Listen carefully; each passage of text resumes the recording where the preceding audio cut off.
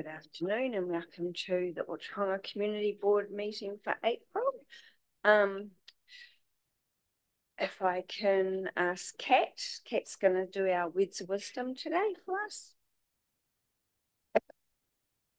Uh, so this is one that was in my calendar this morning and it's from Helen Keller and it says, alone we can do so little and together we can do so much. Thanks, Kat. Um, we've got apologies from Joe Butcher, Steve Hughes, and Tori Korihiki. Can I have a mover and a seconder, please? Peyton Cat? No, I don't, but you know. um, and then we've got our public forum, and yay, we've got Trish Fisher is going to pop up and present to us first, and then we've got Bill Miller after Trish. Welcome, Trish. Hello.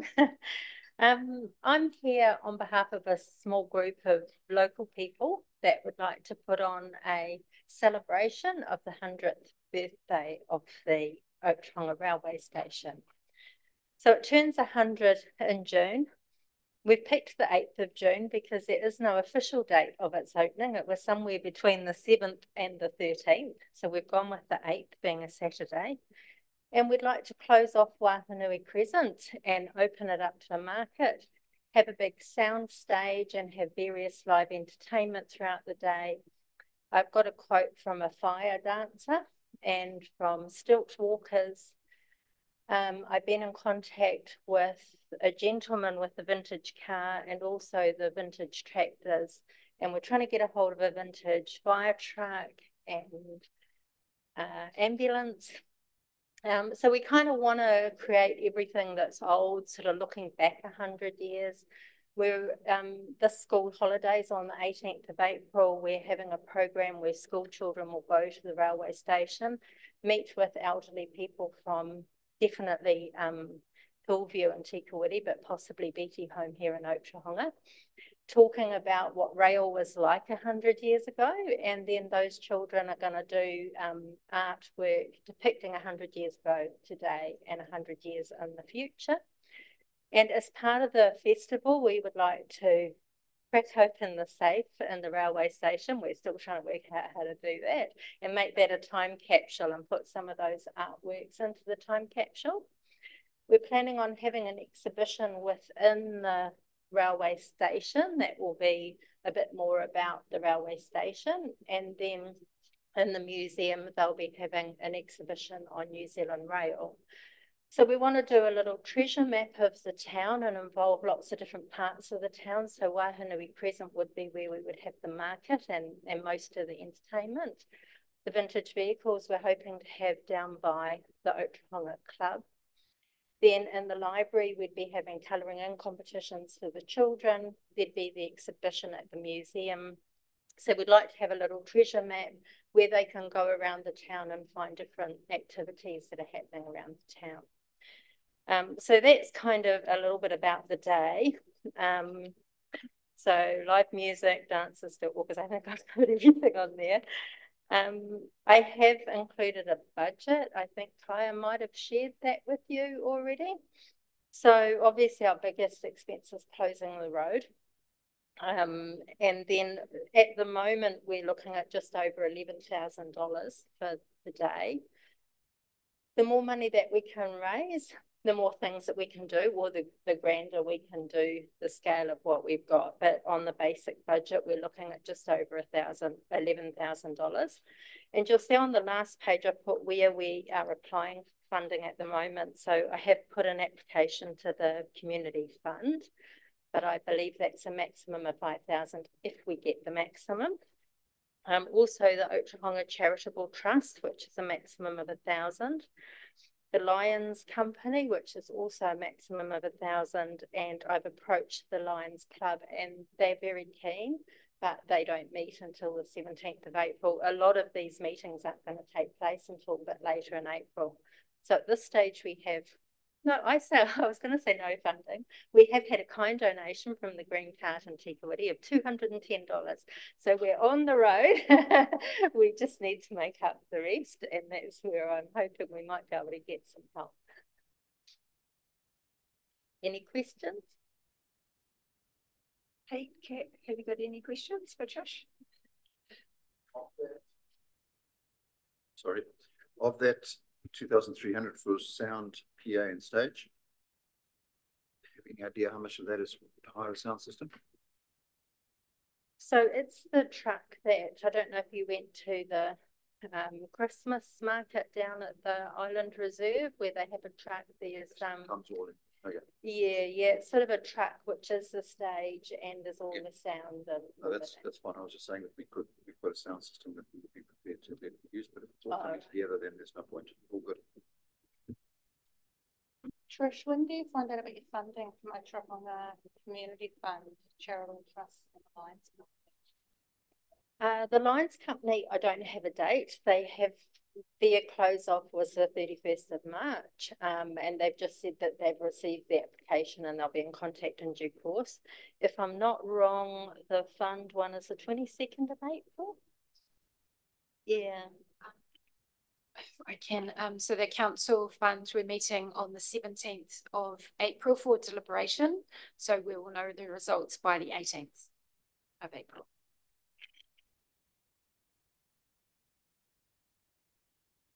And it might be the charitable trust that's somewhere around about seventeenth, twenty-second. I got the twenty-second in my head for a reason, but I can't think why. But yes, it's all kind of towards the mid-end of this month. Any more questions, Kat or Pete? Okay. Um, the road closure, is that for with Infomax or is that with council? It's with Imprimax. Infomax, okay. And Pete just mentioned his PA system. Would the group look at, because we've got so many trucking firms in the um town that often donate their flat decks as a stage and then, so there's no cost, and then if Thrive donated a PA, PA system, that would wipe two grand off. Is that something the group could look at or? Yes, certainly. Um, Only reason I'm asking is because I know the community fund on the seventeenth or eighteenth of April. There's no given that you'd get the maximum because No, it's quite yeah. oversubscribed. Like Nikki's doing such a good job at getting applicants. It's, yeah, so I'm just wondering if the Yeah. group has like a consi- contingency plan if you, we can't find all the eleven thousand dollars, that's all. Yeah. Yeah, I guess um we could certainly look at doing that. We've kind of looked at it at this stage as a package. This is kind of like our ideal scenario, but um yeah, if we don't get sufficient funding, we could maybe look at changing that. Okay. Um. That's probably, yeah, all from me. Um, so we won't make a decision today. Um, if we've only got three of us here today, I'd actually prefer it if everyone was here to make the decision. Um, how soon does that Infomex have to be paid? That's a really good question. I know the answer to that. So we've already started work on getting some artwork design because we want to get that around so that we can start promoting the market stalls and things like that. So that's where we've kind of started spending our money or certainly instructed people to go ahead. Um, the gentleman from from Max that gave me the quote is actually away on holiday, so um, I'm not sure when we have to fully commit to them as to whether it's going ahead. Um, I have put in our application to the council for the event, and I don't know at what point I get a response from that either to actually have permission that we can do it anyway. Okay, so we need, okay, so that needs to be followed up. So with another question that's just popped into my head. So with the traffic management plan, you're not planning on shutting it from the state highway? No, we'd like to actually keep the car, the council car park open and we'd like to close it to the vet. So that actually keeps that side road that goes around the back to where the club because that would be where your more expense would come in if you're Yeah, on the state highway. Okay. Um, yeah, so I suppose, is that everything you guys need?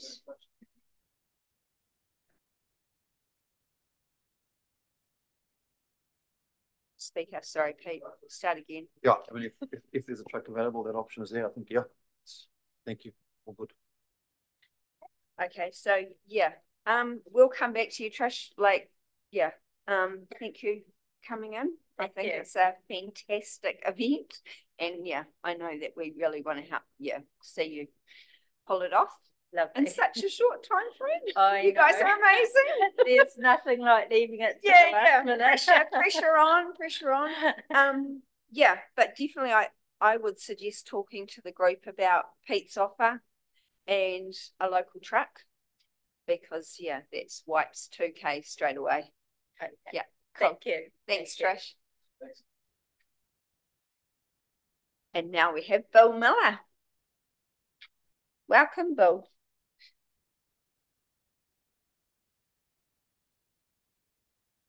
Bring about seven items on my calendar. Where I, I had the pleasure of attending the hundred and sixties uh, Battle of Ōrākau this morning. Remind me, because about two years ago, I approached the district council of getting the story of the New Zealand land on the council wall. Nothing's been done to my knowledge. Okay, I'll answer that. So that wall out there is not councils, it's Kiwianas. So we need to talk to Moraine Hurley, the chair of Kiwiana. That- is of paramount importance to our history. I agree. Bill. Totally agree You with take you. my vote. So is. I will follow that up with Moraine and come back to you. So that's one tick for me to do. Another problem I see, I know you don't agree, but that we got um disability toilets. Now, about twelve months ago, a, local farmer had to bring his twenty-five year old daughter, he had to go into ladies loo. Just about two weeks ago, another man, eighty-four, no, sorry, ninety-four, his daughter had to take him into the men's disability toilets. I don't think that's fair. And uh, with Kāwhia, you've got a separate handicap toilet where people can go in. Is there any chance of, on the right-hand side, where there's a toilet not being used, opened up for disability, so Yeah. even babies could, and mothers could take children. Even I was in the toilet the other day, a man brought his uh, three-year-old daughter in the men's loo. because you were coming to speak to this last month, I've actually talked to our, I think, community facilities manager, Jared, and Jared's actually looking at it right now to make that a disability toilet. There's a few issues. It just needs a little bit of a ramp and the door needs widening and we need to make it more secure into the ladies' toilets. So it's definitely on the to-do list.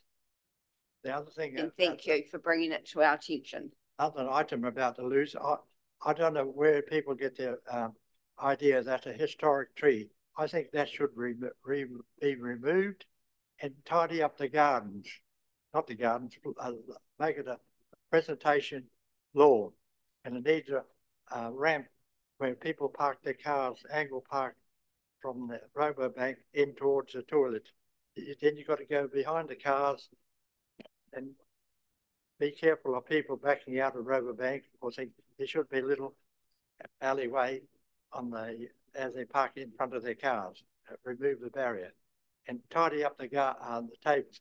Bel- Believe it or not, uh, a lot of people take uh, photos of, of, of- the signage on there that, but it doesn't look good with the ho- ho- hocus pocus tables, in my opinion. And guess what? They're next to be replaced in town because, yeah, I agree with you. I water the baskets in the mornings and I look across at those tables with one plank to sit on and they're falling apart. So they're definitely on the list and they should be done within the next few months. Um, Oh. and then I'm pretty sure the Rabo car park isn't ours. Do you know, Andrew? Okay, so yeah, so what are you wanting a footpath along the front of it? Yes, yes, yes, so people don't have to go behind their vehicles to go to the bathrooms. Now, some days, we always growl when people that park on bus stops. In The last Mm. week, bu- buses were parking on the normal local toilet stop. Yeah. Sometimes there's over five hundred people on buses. When students come down on, on, um, five buses, and well, and, and it's not good, they can't. The locals then gotta find somewhere else to park. It's the hardest place to find parking in the Wahanui Crescent. It's going to be even harder soon when the fire fire station takes back their car park. So um, I haven't got an answer for you on that one, but I've If you to- want people to shop, they've gotta be able to stop. Yep, I agree. You've done the town beautiful. Yep. All painted up, but if you can't stop, you can't shop. I was down the South Island two years ago, one toilet, I forgot the, where it is. These facilities are being paid by the ratepayers. Please support the, the businesses of this town. Okay, that's, uh, you know, it'll brighten my, uh, day up when I see that happen. Thank you. Um, water, there seemed to be water leaking by the fire station drains, been doing it on for year, years and years. It must be a show dribble, dribble. And another thing with the public toilets, Is the have you when you've seen that leak by the fire station, have you let the girls know at reception so they can log a I've service seen, seen request? somebody a couple of uh, months ago, but it's still a slow leak there. Okay, Yeah. I'll I'll log a service request Yeah. for you, Bill. The big issue also is water, water. Believe it or not, I believe the urinals go all night, is that right? I don't know. Sorry. We've got to take, take a leaf out at Kāwhia, public toilet there, no water in the urinal, the brand new hotel, no water in the urinal. Because all our waste at Kāwhia has got to come back to Taronga. And but that's, that's a different issue. The amount of uses of, uh, I'm not a mathematician, you've got to treat the water, you've got to pump it up the reservoir, download again, and when it's flushed down the toilet, urinals, they got to pump up to up to the treatment station, and that's been colossal. I, you know, water is a source of life, but Yeah, no, I totally agree with you, Bill. I didn't even But hadn't even- even thought about the urinal going all night, so that's something I'll follow up yeah, with Garrett. it's, it's a common, you know. Well, I think that's about all I have to say. Oh no, yes, yes. Uh, Wahanui, not uh, Mayor Street, Wheelons, limestone in their drive. When they come out, they put limestone all across the road. When you get kids bicycling or pedestrians parking on, the- uh, walking on the footpath, cars going past, here's the windscreens or, or, or um, limestone. In, in, Yeah, the outside ground spread. Yeah, Yeah, I know what you're talking about because I it's crossed my mind too. So I'm not hundred percent sure what we can do about that, but I will find out. Well, in Kāwhia, you, you want to put a concrete beam so far up your drive. Stop that with. Yeah, So- but that's whether or not they'll want to pay for that. Yeah, but it's a condition of, of, of, your drive that you, you can't have all those stuff, know. still, still have. Do you know, Andrew? Okay, so I'll look into that. Thank you. Andrew. Good afternoon, uh, Madam Chair, Chair people, and I've got to go to Kāwhia now. Thanks, Bill. Well, thank you.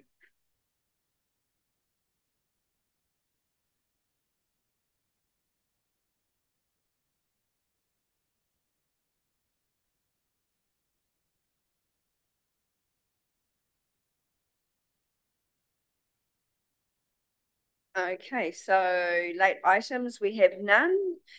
Does anyone have to declare a conflict of interest? Well, I don't think so because we haven't got any reports. Um, confirmation of the last meeting's minutes. Oh, okay, I'll move it and Kat will second that. We have no decision reports. And then we've got an information only report presented by Andrew Lowe. Proposed road naming and numbering policy.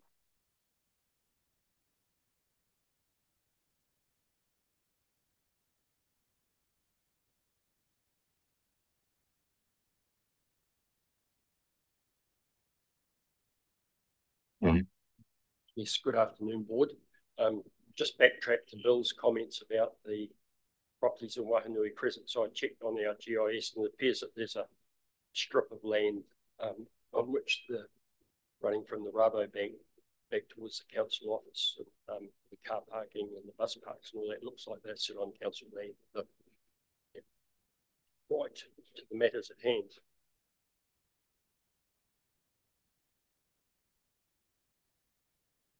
I'd like to um, take my report as read. Uh, the purpose of the report is just to bring this matter to your attention. Uh, it's been the subject of a couple of workshops with members. Uh, I think most of the changes proposed are canvassed in my report and then the attached report has tried to, I mean, the attached draft of the policy has tried to capture all those, those matters. So, um, yeah, happy to take any questions or listen to any suggestions for improvement. Um, we've still got a couple of consultation phases to go through, so it's opportunities to make any changes before we bring the final policy to council for approval. Thanks, Andrew. Pete, Kat, have you got anything? So we'll just take the report as read and accept the report. Is it, we don't need a mover and a seconder? Yes, we do. Can I have a mover and a seconder, please? Pete and Kat. All in favour? Aye. Yeah. Done. Um, Thanks, was Andrew. one Oh, little change oh, that I haven't, yeah, sorry, there's just one small change that I haven't captured in that draft and the suggestion was made, made at the workshop that if the, um, to maybe just emphasise if there's a, a theme of existing names in the town at the time that perhaps people would wish to capture or enlarge upon that. I mean, we're, for in Otrongi, for example, we've got, um, uh, uh, road names that commemorate battles sites in the Second World War. So that's just one example. Right, uh, thank you for your time. Uh, speak, Pete. Sorry. Um, yeah, t- uh, all staff and goes all reports. I'm just fascinated. I know what it's like producing assignments for Ruth. I see this work in the detail and the concentration that goes into getting it all. And thank you very much, sir. Appreciate it. Ditto, especially when you come up against people that nitpick like I do. Thanks. Um, so we've got no public excluded. Um, we'll move on to board projects. Um, so picnic in the park, Tori's not here, but Kat and I both attended, so I'll let Kat talk to it. Um, so the picnic in the park was really well attended. Uh, people seemed happy to be able to come down and just enjoy their Friday afternoon. Lots of kids playing, even more adults that were around. Um, and we can sort of collate a list of everyone that donated, sponsored and helped us pull it together. We'll do a thank you post later on this week. Cool, thanks, Kat. I'll just do a shout out straight just to Enviro Waste for um donating the bins and dropping them off and picking them up. But like Kat said, she'll do a list. Hey, Yeah, just to add to that, we had, to begin with, I wasn't sure what support there was going to be for the, for the climbing, but they, somebody saw, somebody saw something up and saw signs, whatever, and and so, yeah, by the time we'd finished there and I came, I came driving past and saw by the time we'd packed up everything and got, um, but yeah, we had, we had really good turnout on that, on that Friday evening as well. So oh yay, it was a good night. Well done, Abel. Well done all. awesome. Yeah, shout out to Tori too for um yeah, she did everything. We were just really her lackeys. So that was really cool. Um nothing to report on the fitness. Oh, I suppose there is.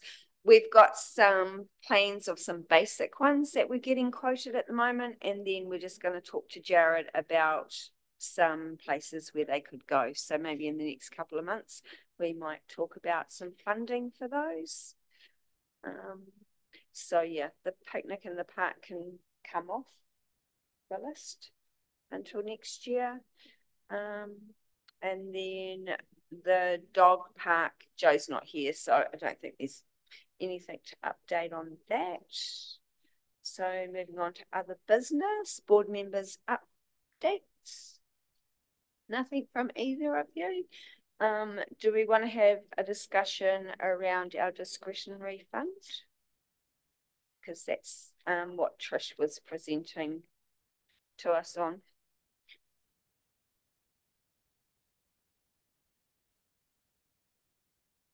We can do. Do you want to wait for? the other Yeah, three? I well, yeah, I'd like everyone to be here, but I just, yeah. I'm, I mean, I'm in support of it, but I'm probably more in support if they try and, yeah. Cut down some costs too, because, yeah, I don't think, yeah, I don't think. Hmm. I am too. I am in support of it also. So it'd be really good to be able to give something. But yeah. Yeah, in, in support, eh, am in support, a great day. Um, it's just that sometimes, yeah, rather than money, if other, if, if there's another way of doing it and services or something can, can be supplied, it's just, it's a help. So yeah, that, that offers there, so we have it. So what I might do is, um, or even ask Kai to do is follow up with Trish to see when this Infomax would have to be paid. And yeah, so, And that would be a cash. Yeah. There's, there's no way you can get around that one, yeah. yeah. so that's